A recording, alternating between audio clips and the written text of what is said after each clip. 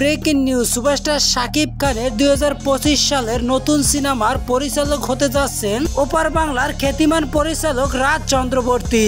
সবকিছু ঠিকঠাক থাকলে কিছুদিনের মধ্যে আসতে যাচ্ছে অফিসিয়াল ঘোষণা। বিয়ার্স বিস্তারিত বিষয় জানতে হলে অবশ্যই ভিডিওতে লাইক দিয়ে সম্পূর্ণ দেখতে হবে। বিয়ার্স অনেকেই ভেবেছিলেন দুই সালে ঈদে সুপারস্টার শাকিব খানের নতুন কোনো সিনেমা আসবে না। দুই সালে ঈদ আসবে, সেই ঈদে ঢাকাই সিনেমার শীর্ষ নায়ক মেগাস্টার শাকিব খান আসবে না।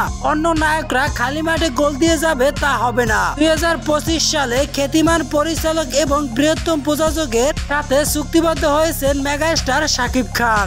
অলরেডি সিনেমাটির গল্প লেখার কাজ চলছে।